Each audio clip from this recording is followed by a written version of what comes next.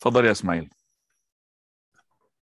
بسم الله والحمد لله والصلاة والسلام على رسول الله وعلى آله وصحبه أجمعين أما بعد Tonight on the 17th of Jumad al-Thani in the year 1443 corresponding to the 19th of January 2022 we are in the book Al-Wajiz the concise presentation of the fiqh chap- starting chapter 13 fixed prescribed punishments on page 577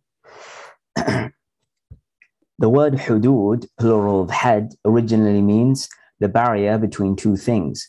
Lexically, it implies prevention. As a technical term, it means the legally prescribed punishments for sinful acts implemented to prevent such acts from occurring. الحمد لله والصلاة والسلام على رسول الله وعلى آله وصحبه ومن والاه Hudud in Arabic means borders. So they put the borders for some things not to mix up. And this is in the language. Had means I'm putting you a limit, a border, a line, so you don't cross it. but when we talk about hudud, as a terminology here in the Sharia, it means uqubat, punishments. And actually, it And that is, just the microphone now is playing around with me. Long time. And that is two things. The awamir, the commands, and the nawahi, which are the prohibition. As Allah subhanahu wa ta'ala, He says, Tilka hududullah, fala taqrabuha. These are the limits, the borders of Allah. Do not approach it. So this is command. فلا تقربوها it is prohibition so تلك حدود الله this is the command this is are the borders of Allah so this is a command don't فلا تع- فلا تقربوها do not approach it do not cross it that means a prohibition so here it means the set or prescribed punishments okay which is being set by the sharia by قال الله وقال رسوله regarding a certain act, a certain crime, a certain sin, in order for two things. And that is to be jawabir wa zawajir. Jawabir means to expiate. So once this prescribed punishment implemented on the criminal, it will be an expiation. He will not be punished in the hereafter. And the secondly, as as well, zawajir means deterrence. So it will deter other people to do the same crime. So this is the basically why we have prescribed punishment. So the prescribed punishment, the hudud, is simply is that something being set by the Sharia as a punishment regarding certain crimes. We're going to speak speak about which crimes we're talking about here, in order for number one to expiate his sin, so that person will not be punished in the hereafter for that sin. Number two, as a deterrence, that is for the uh, people to do the same crime, except in the prescribed punishment of a person who is committing apostasy. That means left the deen. It's not going to be a sin expiation, but actually it will be the penalty of death for a kafir. So it will be deterrence for other people to do this. what is to commit apostasy in the open you could you could have whatever you like in your creed in your aqidah but to say it open to confess open then sharia will say that the death penalty is the prescribed punishment for such a person. So that in that case it will be only deterrence for others to do but it's not going to be a sin expiation for the person who had been uh, uh, having this prescribed punishment which is death because he had died upon kufr of course, if he wants to repent before that, yes, he's got repentance and he will be saved. Even if he repented just uh, for the sake of saving himself for the punishment, where he's himself inside, he's an atheist. He's not a believer. We don't we don't care about what he has inside. This is between him and his Lord. What we care about what he did say and what he boasted, what he's claiming to be. So if he said that I, I'm a Muslim, and to, that will save him from the punishment, yes, we will talk about it as well later on about repenting before the crime and after the crime and how this is going to affect the implementation of the prescribed punishment. That is inshallah later on. But it's not in the book. I'm going to add things here to the book. طيب. Now, the Mu'tazila wal Khawarij, those two sects, they say that this prescribed punishment, it is only a deterrence.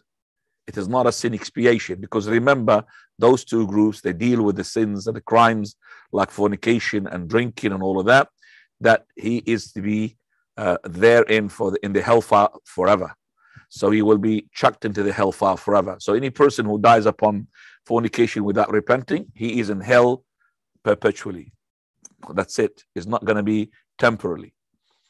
Uh, uh, so uh, for them, as I said, the prescribed punishment is only a deterrence. It's not a sin expiation. As we say, it will expiate. It is not for them. Fine. Let's talk about those prescribed punishment that the Sharia had set as a prescribed punishment. Which crimes are we talking about? Now, the crimes that call for fixed prescribed punishments. The Quran and Sunnah have laid down specific punishments for specific crimes. These are known as the crimes invoking fixed prescribed punishments. They are fornication or adultery, slander, theft, consuming alcohol, brigandry, apostasy, and rebellion. Right. Okay. So here, Sharia had made a fixed punishment for the following. Number one, that is, you are transgressing against the, the, the fame, which is defamation, or transgressing against the body, which is fornication. And these two, we call it al-a'rad. A'rad means the honor of the person, whether you're uh, accusing a person, whether he had fornicated or whether he had defamed somebody, those are attack onto the honor of the person. So the prescribed punishment for them, uh, uh, as we're going to see when we come, for the zani, for the person who's committing fornication, for the person who's defamation, is a prescribed punishment. Also, Sharia came to punish and made a fixed prescribed punishment onto the person who transgresses against the wealth of the people, that is stealing. So there is as well prescribed punishment for that. And also the person who transgress goes that means he go over the board over the border which is with hudud and that is regarding his intellect and that is drinking. So this is a, a crime against your uh, aql.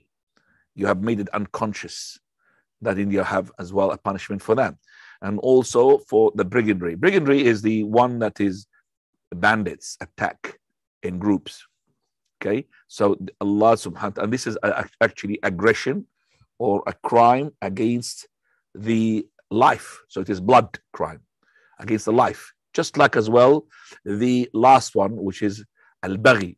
Baghi is well killing. You have a group and you're fighting the Khalifa, so called baghi. So as well, this is a crime against the blood.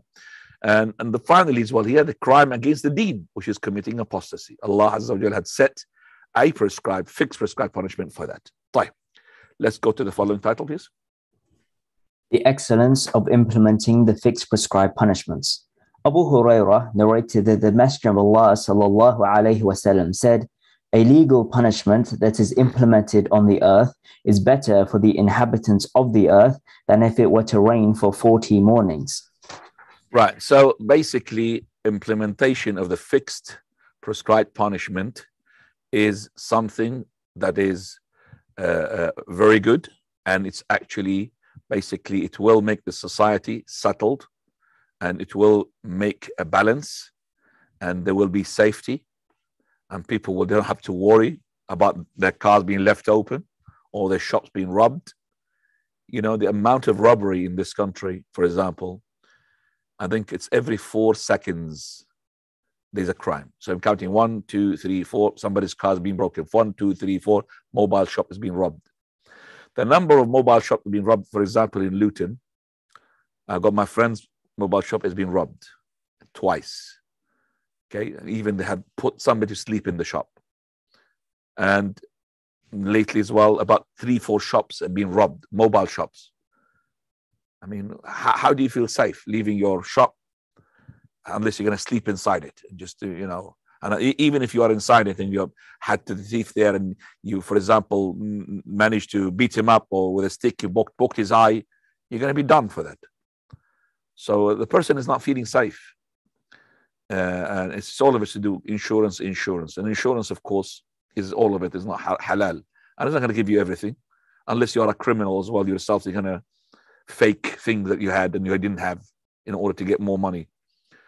So Islam brings safety to the society and settlement.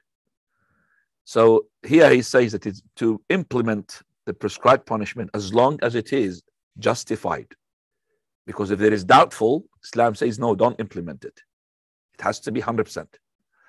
Okay? So it is better for the earth to be better than the, having the earth to have rain for 40 days. Rain here, which is a rain that benefits the land, not a rain to cause flood. Father.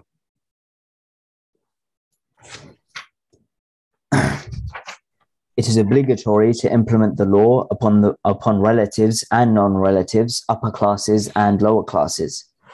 Ubadah ibn al-Samit said that the Messenger of Allah sallallahu alaihi wasallam said, implement the fixed prescribed punishments of Allah upon the relatives and non-relatives, and do not fear, for the sake of Allah, the blame of any reproacher.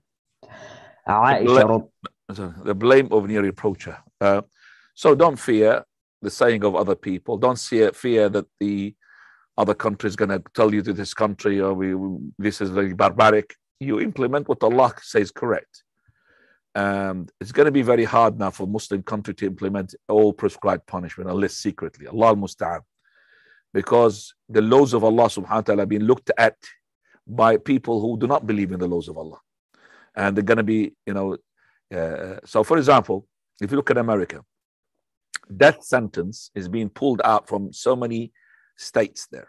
Still, some of the states like Texas, they still have death penalty, but some of them they removed it because the power, the upper hand was for those people who say we don't want the death sentence. Subhanallah, somebody who was a serial killer, killed so many people, have no shame and have no mercy. He even enjoys killing the people. He even sold them while he's alive, cut them while they're alive, and still they give him the opportunity to stay in the prison. God knows for how many years, sucking the tax money of the people just to live there. I don't know. I mean, the prison is a prison, yes, but still, it's luxury for him. He wouldn't really like to be uh, uh, killed.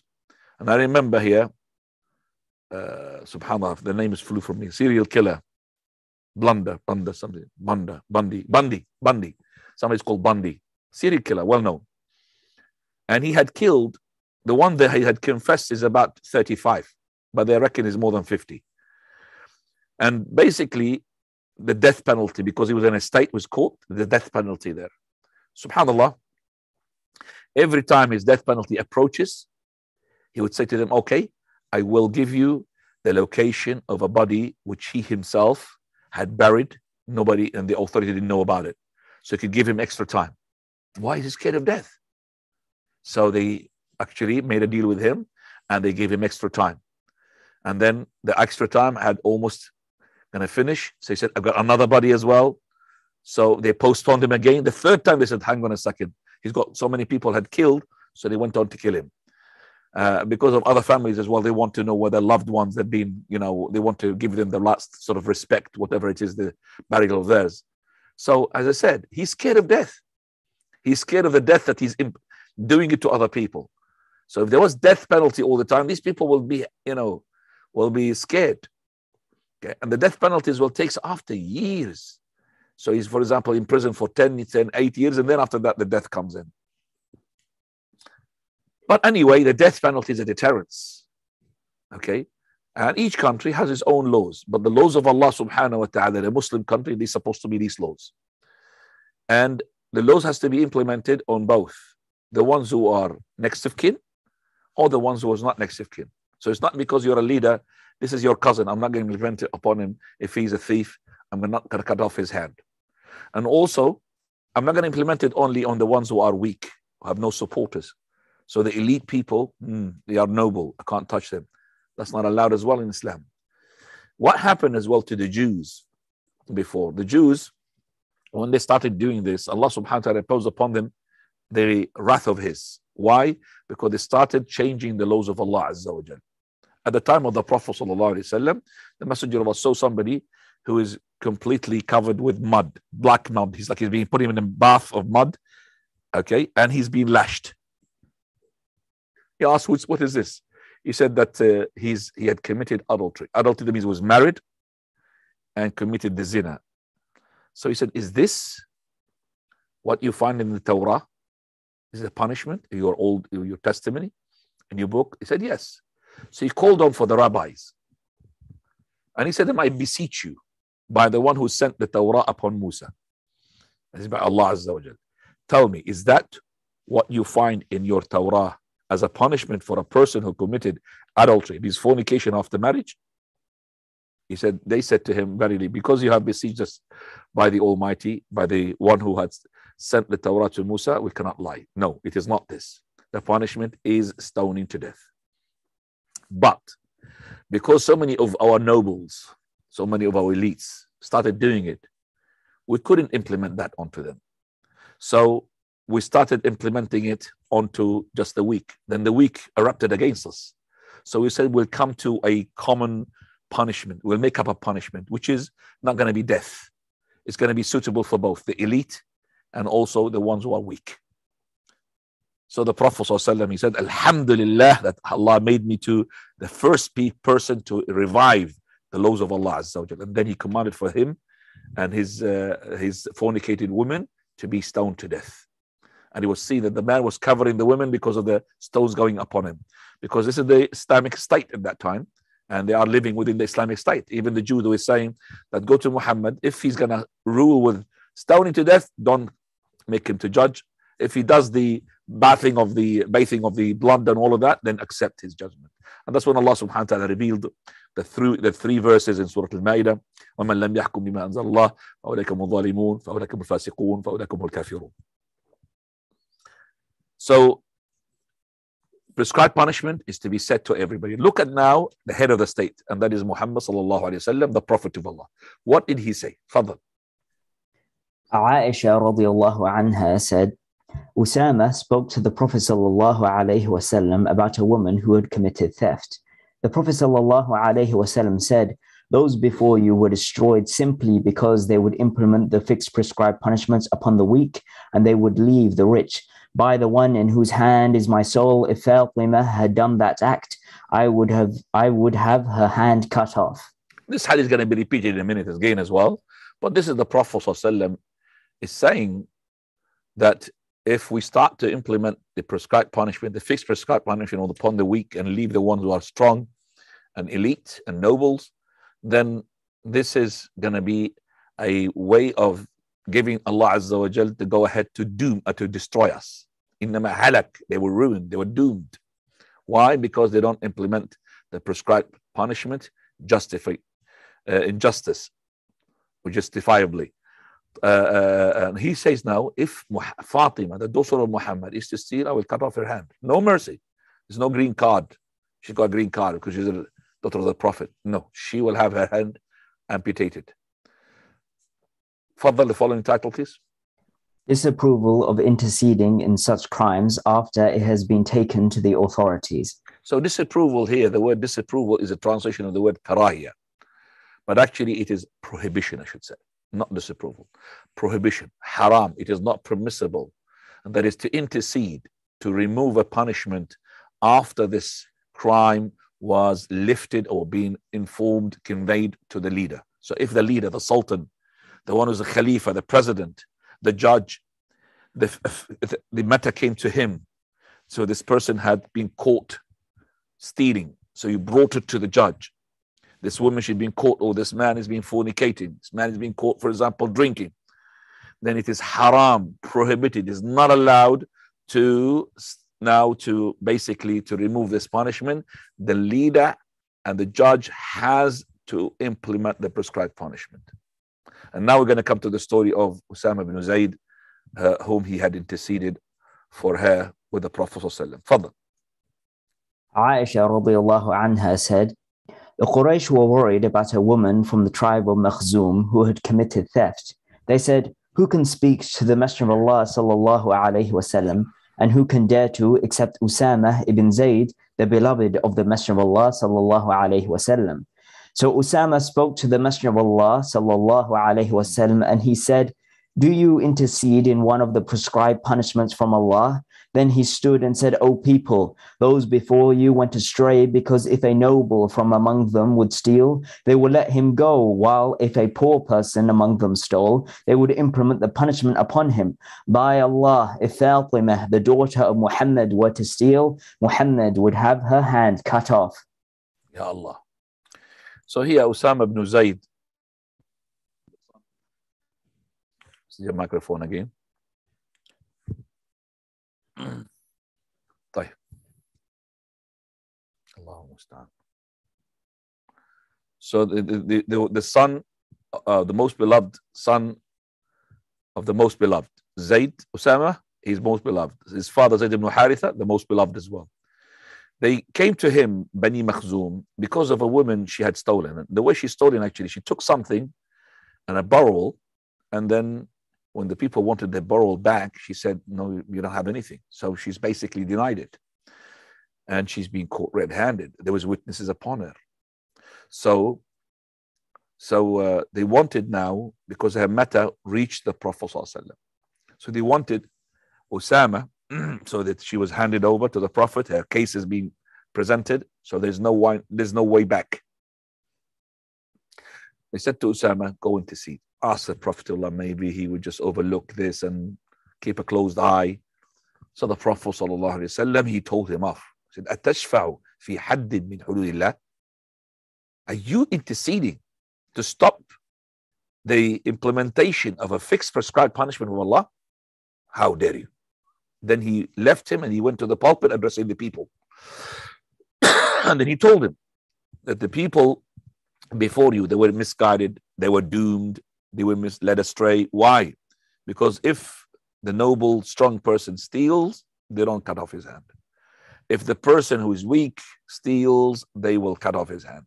They will implement upon him the fixed prescribed punishment. By Allah, if Fatima, the daughter of Muhammad, is to steal, I will cut off her hand. Also, you can add here hadith of Abdullah ibn Umar that the Prophet wasallam had said the this the intercession of somebody had, if, if intercession of somebody had prevented the implementation of a prescribed punishment, of imitation or the implementation of a fixed prescribed punishment, then he had gone against Allah's command. He gone against Allah and his deen, in the deen of which is not his deen, that means the deen of Islam. In his deen, the deen of the person. So you, you have actually gone against Allah's Sharia. And this hadith is in Silsila Sahiha of Sheikh Al-Albani 437. Manhala حالت fi في حد من حدود الله فقد ضاد الله في Allah means he had opposed Allah in his matter. Right, let's go to the following title, please. It is preferred to conceal the faults of a believer. Okay, we could add to the title here. It is preferred to conceal the believer's faults and also to add to pardon and to pardon and not to convey the uh, crime to uh, the Khalifa or the leader or the judge unless there is a benefit. Okay, unless there's a benefit. So, because once it's raised to the Khalifa and there's a fixed prescribed punishment, it, there's no intercession. So it is preferred to conceal, not just to conceal on a different person, also to conceal upon yourself if you've done it. If you fornicated, if you are, don't raise yourself to the matter. Try to purify yourself with the repentance to Allah rather than to be having the prescribed punishment implemented upon you. Fadlan. Abu Hurairah reported that the Messenger of Allah sallallahu wasallam said, Whoever conceals the fault of a Muslim, Allah will conceal his faults in this life and the hereafter. Okay, I'm going to second. There's a hadith here missing. I don't know if the new print has got it or the old print. Just one second, please. Yeah. Okay, we'll add hadith here, inshallah. That's a hadith being added by the new print, the new version of this book, Al Concise. On the authority of Safwan ibn Umayyah. Or just before I add this hadith, let's just talk a hadith of Abu Hurairah. Abu Hurairah, he said that the Prophet said, He who conceals uh, uh, the faults of a Muslim, Allah will conceal his faults in this dunya and the akhirah. Uh, but actually, there was more of a direct hadith than this. And that is, and Safwan, on the authority of Safwan ibn Umayyah, he said, I was sleeping in the masjid and I had a garment uh, which is about 30 dirham, the cost of it. A man came and he stole it from me. So the man was caught and he was brought to the Prophet. The Prophet of Allah, he commanded for his hand to be amputated. So I came to him. This is the one whom the item of his being stolen. I said to the Messenger of Allah, Are you going to amputate his hand because of 30 dirham? I will, okay, I will sell it to him and I will basically give him the time that he likes to give me the money. That means it, it, it, just consider that what he had taken from me is like that sale. So I'm selling it to him and let him pay me the, the 30 dirham whenever he wants in, in, in installments, basically. So the Prophet ﷺ, said to him, if this was before this, before he came brought him to me before these people brought him to me red-handed caught red-handed you could have settled that issue before it reached me. So once the matter reaches the authority the authority cannot say well we will consider intercession all of that it's not allowed. But before it reaches the authority, yes, amongst each other, okay, okay, brother, you stole my item.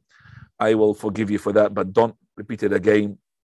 So that's before it reaches the uh, the authorities. Also, the hadith, "Man satara awrata akhihi muslim he who conceals the defects of his Muslim brother, Allah will conceal his defects on the day of resurrection. But he who exposes the defects of his brother Muslim, Allah will expose his defects. Uh, uh, Allah will expose his defects, even he will be in his own house. But this concealing, we say, it's actually it's, it's not open check. It's not just without any restrictions. No.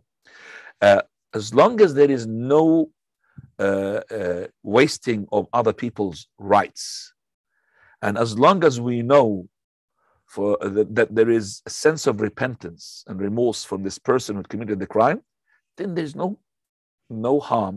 Actually, there's a big benefit to let him make tawbah instead of taking him to the authorities where the prescribed punishment is going to be 100 lashes, so it will be a scandal to everybody, or 80 lashes uh, for defamation, uh, uh, 100 lashes for fornication without marriage, or for example, stoning to death. It's, it's going to be a scandal for the family of the person as well.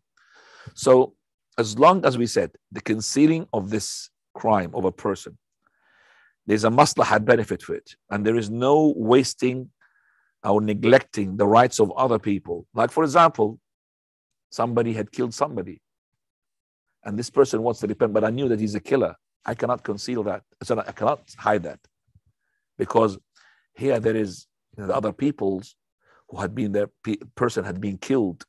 Okay, they need to have the blood money, or they need for him to be killed. So you cannot you cannot conceal that. So a killer, no. Also rape. Rape is different from zina, even though the same crime in terms of punishment. But the rape here, if I'm going to conceal he's this person, he had uh, uh, uh, fornicated with a woman without her consent. It's always a woman. She will have the fornication. It's not the man. We've never had a case, for example, man is being raped. It's always the women who will be raped. So if it is the crime of a kill, killing a person, or a crime of rape, we have to uh, uncover this crime and we cannot conceal it. We have to raise it to the authorities. But if it is not going to affect others, then it's permissible to conceal it. So, for example, he who had seen a person who fornicated, fornication is with the consent of the two, and he had sensed from the two of them that they will be repenting, and he concealed upon them, that's good. Because repentance is better than taking them to the authorities. And you remember, you need four, four witnesses. seeing the actual thing and the actual things, seeing the actual fornication. Same thing with somebody if he stole, just like this person. The Prophet Allah said, I wish that you have settled this before you raise the matter of this man who had stolen your garment, which cost 30 dirham, and his hand is going to be amputated. I mean, it's supposed to be like saying to me, why didn't you settle it before you came to me? If you just went to that person and said, Khalas, guys, because you saw them coming with it, you saw him being captured. Okay, so now when you knew that the punishment is like this, you want to say, let me consider that I have sold him this garment so that the implementation of the fixed prescribed punishment would not take place. Sorry, it being raised to the imam, to the judge, there is no intercession. So if somebody stolen something from somebody and he has some sort of sense of repentance, or the item is not that much, okay, and you want to conceal upon him, it's better not to take him to the authorities. Uh, what is the proof for this? The proof for this is that the Prophet ﷺ, he said to Hazal, Hazal is the person who had let Ma'iz to go to confess to the Prophet of Allah that he had made the fornication. He was married. And his death, his, his fixed prescribed punishment was stoning to death. So he said to Hazal, after the whole, I'm going to say the whole hadith, inshallah. And, you know, in that story, he ran off. He ran off and he said, My people deceived me. My people had told me that, you know, he was never thought that there will be death penalty like this.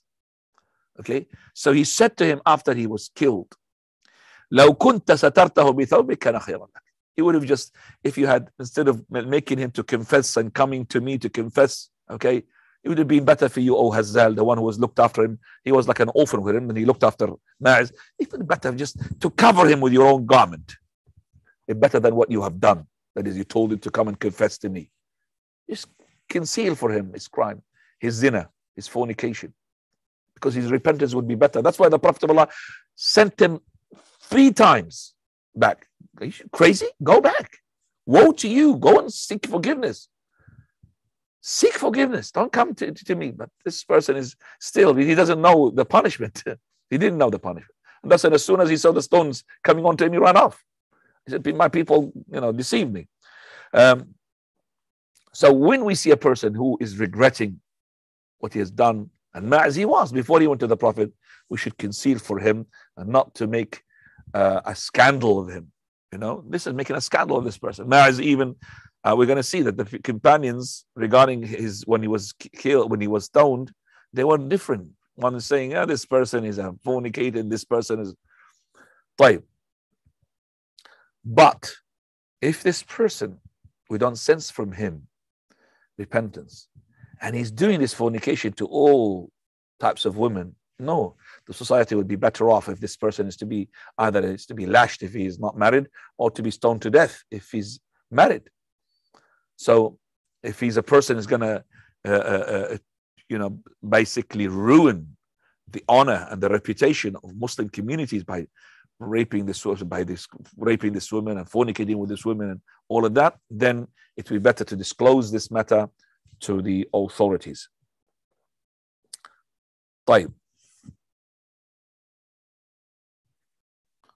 Coming now to the following after that, after Abu Hurairah, تفضل. It is, also, it is also recommended that the individual keep his own faults concealed. The Prophet ﷺ said, Every one of my nation is apt to be forgiven except for those who commit sins openly. Included among those who commit sins openly is where a person performs a deed during the night. And although Allah has concealed that sin, in the morning he says, Oh, so and so, last night I did such and such. He spent the night being concealed by Allah, and in the morning he uncovered Allah's concealment from himself. Right. So also not just to conceal on other people's the crime if we sense from them uh, a tawbah and there is a benefit from that. Uh, also to conceal on yourself. Why should you go and confess that you drank? You drank now, you repented to Allah. Repent to Allah. Instead of saying to the judge, I have drank yesterday. Okay, if you repent to Allah, repentance, Allah will forgive you for that. and then became a ladabala. the one who repents from his sin it's like he hasn't sinned. What do you what more do you want? So it is better than and of course this hadith is talking about this person is not going to the authorities telling them that I've done so and so, please purify me. No, no, it's not. It's talking about, he's talked going to other people, his friends and all of that, not the judge, not the authorities. And he said that, you know, yesterday I was a fornicating and yesterday I was drinking. That's the person who will be exempt from being safe. Prophet Allah said, All my ummah are safe. Kullu ummati mu'afa, safe, except for the one who talks about their sins openly. And how? You do them during the night, something that nobody can see you, and Allah had covered for you. You sin and you repent to Allah, but no, tomorrow you say, that means there's no sense of remorse or regret. That's what it is. He's telling the people, you know, no, no, you have no shame to talk about your sin. If you're shame, that's Alhamdulillah. If you have modesty, Alhamdulillah. If you have haya from your from your sin, Alhamdulillah. But when you lose this haya and you don't care about the people knowing about your crimes and your billah, satanic, devilish works that you do during the night, then you're not safe. You are not safe, whether in this dunya or in the akhirah. We could add a hadith as well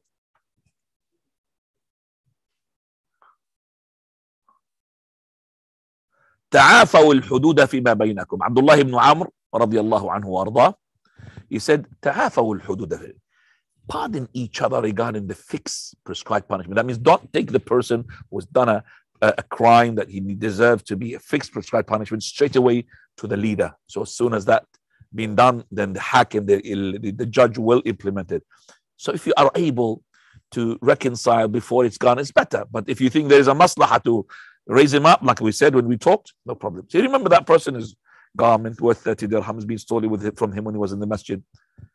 You know, you know, he, he could have just settled this issue before this person was taken to the Prophet, and the Prophet was going to amputate his hand. That's what the Prophet said. But if the matter, the crime was raised to me, then the prescribed punishment will take place. Okay, so it will take place.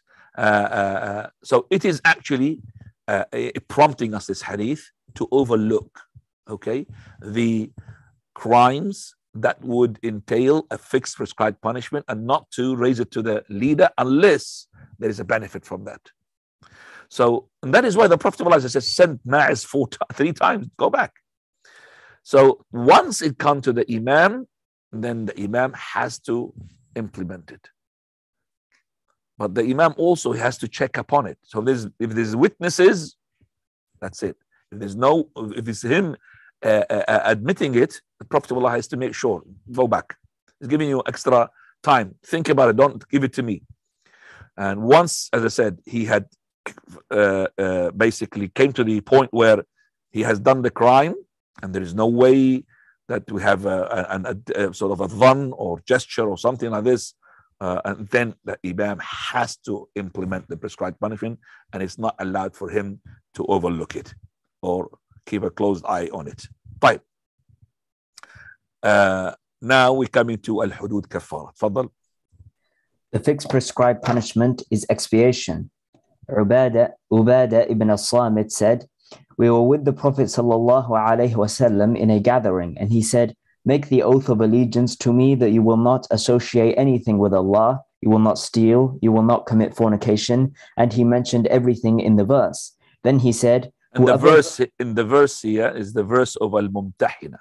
Surah Al Mumtahina, verse number 12, which Allah subhanahu wa ta'ala says, Ya ayyuhan nabi, O Prophet, إذا جاءك المؤمنات إذا جاءك المؤمنات if the female believers come to you على ألا يشركن that is that is not to associate anything with Allah subhanahu على ألا يشركن بالله not associate anything with Allah subhanahu wa ta'ala قال على ألا يشركن بالله شيئا ولا يسرقن ولا يزنين and not to as well to commit burglary or to commit fornication ولا يقتلن أولادهن and not to kill their children ولا يأتين ببهتان يفترينه بين أيديهن وأرجلهن and not to bring a fornication that they have done between their hands or their legs ولا يعصينك في معروف and they don't really disobey you in something which is you being commanded in, in good فبايعهن واستغفر لهن الله إن الله غفور رحيم then get, accept the, uh, the pledge from them and seek forgiveness for them for verily Allah Azza wa Jal is the oft merciful oft forgiving now Then he said, Whoever fulfills it among you will have his reward upon Allah. If anyone falls into any of those things and is punished for it, that will be the expiation. If anyone falls into any of them and Allah conceals it for him, then it is up to Allah. If He wills, He will forgive him, and if He wills, He will punish him. Right. So the Prophet ﷺ, said to these people to give the pledge to him not to associate anything with Allah and not to steal and not to fornicate. He who does that, then his reward with Allah Azza wa He, if he did a crime of these, like he stole, he fornicated, he committed apostasy, he committed apostasy, he did not repent, of course, we said, and he, that will not be a sin expiation. But if he stole, if he uh, fornicated, and he had been punished for it in this dunya, prescribed punishment is being implemented upon him, then it will be his expiation. Khalas. No punishment in the hereafter. But if he had done one of these things, yet he had repented to Allah, Allah concealed it for him, he did not raise the matter to the judge, then it is up to Allah. Allah might forgive him or might punish him, but after that he will be going to paradise. But remember, this is the person who committed the fornication and did not repent. He's still in the, in the will of Allah. He might forgive him even if he did not repent, because maybe he did something good before. But let's say this person repented to Allah. Prophet of Allah said, As long as your tawbah, repentance is 100%, your tawbah is fulfilling the condition, then it's like you haven't sinned. So there is no need for you to put your uh, fate uh, in the hands of the authorities. And then, as I said, it will be difficult for you later on to, um, I would say, to hide yourself from the people because the people will know about you. Your hands have been amputated because you're a thief. You will be shy to, to meet other people. So it's better for you not to raise this matter, uh, or even for you not to raise the matter of somebody, as long as we know that he's going to be repenting to Allah subhanahu wa ta'ala. طيب. من يقيم الحدود, and this is the last thing, but what we're going to add is double this. This is going to be in the next lecture. We're going to add, inshallah, more than double this. Fadal. Who is to implement the fixed prescribed punishments? The fixed prescribed punishments are not to be implemented except by the ruler or his representative, as the Prophet ﷺ used to implement them during his lifetime, and his, and his successors did the same afterwards. He would also appoint someone to carry out the punishment, as when he said, Go, O Unais, to that woman, and if she confesses, stone her to death. Okay, we're going to come to her story in a minute. Bye Uh, later on, inshallah, not today. Uh, so here we say that the one who is going to implement the prescribed punishment is the judge, the imam, the khalifa, or whoever he deputized on his behalf. طيب تفضل. It is permitted for the slave owner to, ex- uh, to execute the legal punishment upon his slaves. The Prophet ﷺ said, if a slave girl fornicates and it is proven, her owner should lash her and should not reproach her after that. Then, if she fornicates again, he should lash her and not reproach her. If she does it a third time, he should sell her, even if it be for a rope of hair. Right. So, this is a, a prescribed punishment being implemented not by the Khalifa, by the person himself.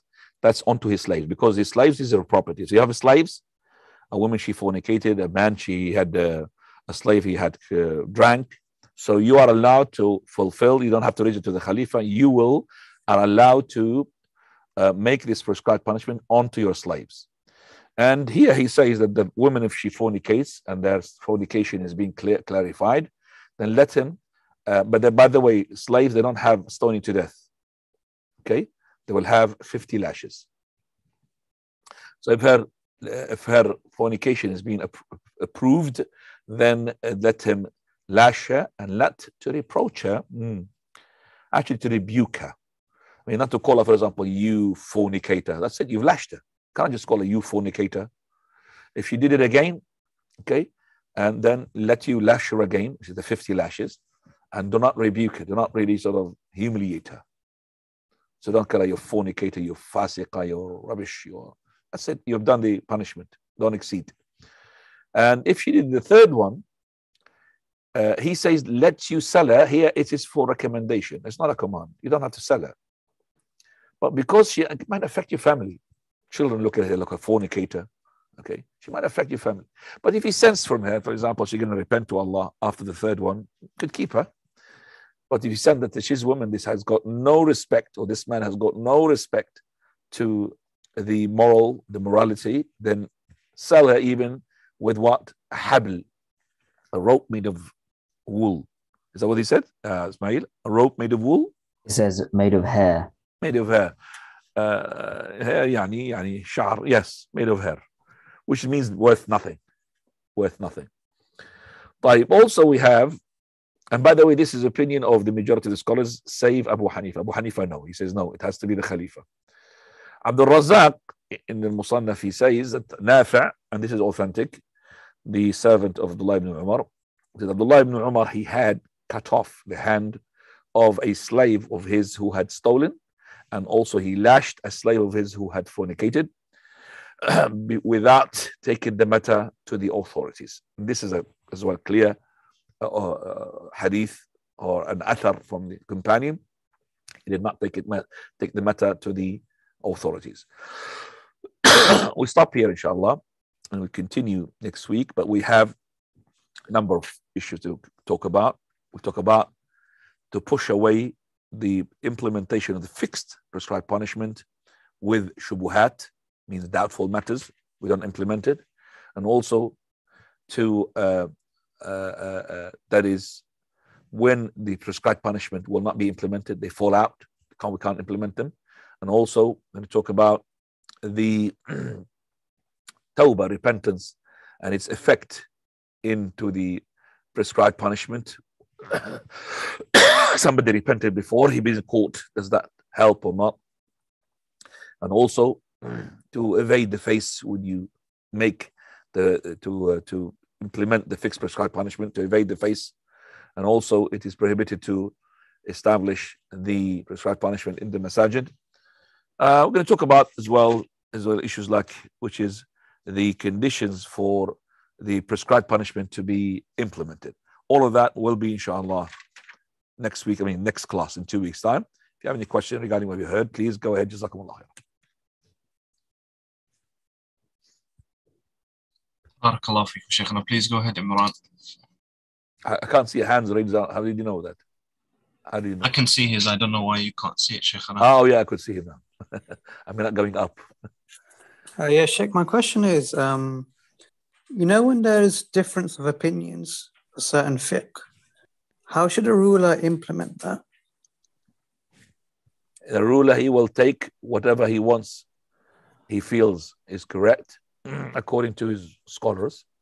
But what he takes is supposed to be the uh, basically the norm that other scholars they can't say, for example, why did he implement Abu Hanifa or other scholars? So, in terms of when we have a khilaf and the leader had chosen one of them, then that chosen whatever it has to be the one that we should be abiding ourselves with it.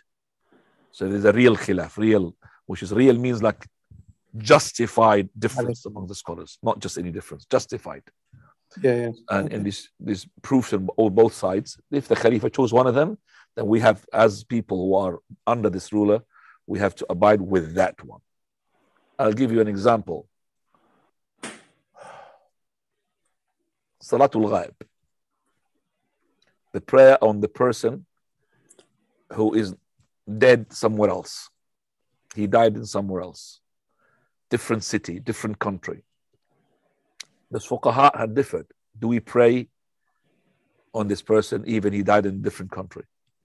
Most of the scholars they said yes, you're allowed, but the few scholars they said it's not allowed, and we're going along with it. It's not allowed because of the hadith of the Prophet and from the fiqh we say from the from the fiqh of the hadith, the Prophet of Allah he died. No other Muslims from the companions have prayed upon him. For example, like Usama, he was outside the Medina. He did not offer Salat al-Ghaib on the Prophet. Only we offer on the salah, on the ghaib, on the person, if there is nobody to pray upon him, like the Najashi. So we have a difference among the scholars. So if the head of the country adopted that there is Salat al Ghaib, and he had made the masajid to make Salat al Ghaib prayer on the absent, on such and such person, I am a person who's a Salafi. I cannot just go on to the masjid and oppose, or uh, let's say the Imam of the masjid. I have to pray it because the Khalifa had chosen that particular fiqh even though it goes against what I'm saying. And I'm saying this is wrong. But this is, as I said, where the proofs are there for both sides. For me, I could see clearly there's no Salat al Ghaib, but because of the Khalifa, he had chosen this particular one, according to what he believes that the scholars who had told him this is the correct opinion, we adopt that opinion. Uh, if I'm uh, I, if I'm not in the masjid, I'm not a I'm not a person who is the imam. I don't have to go there. But if I'm the imam, I cannot just leave the masjid because of that. Now, wallahu ta'ala. Now, Jazakallah khairan, Sheikhana. The only other question is off topic, if you allow it, Sheikh. Um, the question is saying that he purchased a T-shirt and he didn't know that it's got 10% silk in it. Is it permissible for him to use that, wear it as a man? 10% silk is, is not uh, silk. It's like 10% gold. It's not gold in a, in a metal, like gold plated. And silk, I don't think the silk here you're talking about the real silk. You're talking about artificial silk. It's not the silk, I think it's manufactured silk. So it's not the silk which is the worm that had done it. Okay, so it's not allowed, it's allowed, inshallah. There's a sister that's um, you've clarified, but she's asking if the matter goes to the authorities and the person says, I repent for this crime. She just wants to clarify. So, do they still get? I, I, I cannot answer this because I said I'm going to talk about it next week, the uh, next class. Sorry, Sheikh, I apologize. Yeah, yeah. We just said we're going to talk about the repentance, inshallah. This is another, it's a, a title. It's not simple. I'm going to be about another 10 minutes for this. So we'll leave that, inshallah, for next class. Anything else? That's all that I have in this brothers and sisters yeah, It's going to get more, more as well interesting next time because we're going to talk about things which is not in the book. We're going to add them, inshallah. So I've written here about uh, two pages. So we will be, inshallah, talking about them. So this is uh, very interesting about the prescribed punishment, just to show you that this is from Allah. Wallahi, any person look at this, he will know that nobody can do such a thing. It has to be this religion from Allah Azza wa It has to be the divine, because it's everything is in system and organized. وسبحانك اللهم بحمدك